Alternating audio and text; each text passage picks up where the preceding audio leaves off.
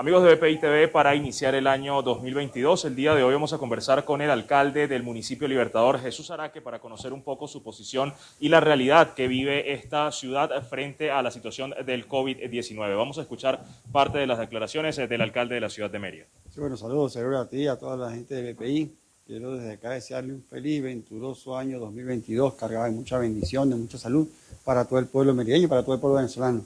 Nosotros, bueno, como alcalde, estamos convocando esta semana una importante reunión con el Departamento de Salud de la Alcaldía del Municipio de Libertador. Estamos conversando para que nos acompañe la Autoridad Única de Salud, el doctor Ramón Nieves, a esta importante actividad de inicio de año, para hacer una valoración de lo que fue el mes de diciembre, mes de noviembre, mes de octubre, es decir, el último trimestre del año en cuanto a lo que fue el repunte de COVID-19 en el municipio de Libertador. No es fundamental. Esto, bueno, con miras a tomar algunas decisiones importantes en los próximos días con relación a las actividades que se tienen por parte de la alcaldía del municipio Libertador, como ya es bien conocido, la Feria Internacional del Sol, por ejemplo, que hasta el momento no la estamos suspendiendo. De hecho, el presidente Nicolás Maduro y la vicepresidenta han anunciado eh, una jornada intensa para iniciar un proceso de vacunación masiva en toda la ciudad de Mérida, pero también generar un proceso de eh, refuerzo en todo el país. Es importante destacar que tenemos nosotros, bueno, un ciclo que cumplir. Aquí el gobernador Jason Guzmán está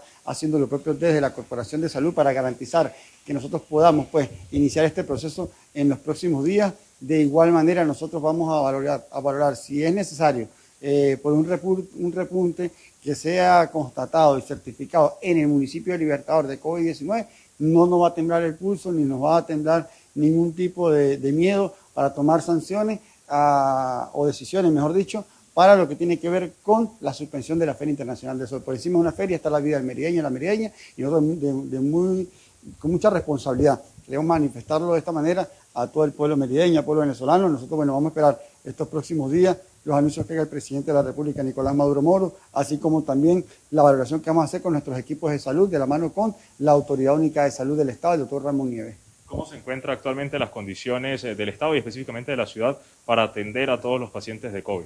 Bueno, fíjate, allí nosotros, según el diagnóstico que hemos venido eh, trabajando y realizando con algunos entes de salud del Estado, eh, Mérida, en el caso del Estado de Mérida, el caso del municipio de Libertador, donde se encuentran no solamente los CDI Centinela, sino también el Hospital Universitario de los Andes, en comparación a lo que fue hace un año el inicio del mes de enero, es una situación totalmente distinta. ¿no? Hoy tenemos un número de camas eh, disponibles mayor a lo que tuvimos hace un año. El número de, mortal, de tasa de mortalidad ha venido descendiendo considerablemente. Sin embargo, el COVID no es juego, las nuevas variantes no son juego y es algo que tenemos que cuidar al merideño, a la merideña, porque bueno, hay personas que dicen, bueno, ya el COVID viene bajando, ya no hay fallecidos. No, no hay fallecidos, no, sino que el COVID está haciendo de las suyas y tenemos que cuidarnos. Hay un proceso de vacunación que te permite eh, tener unos síntomas no grave, ni a lo mejor que llegues a la muerte, pero la muerte sigue latente a las personas que no se cuidan.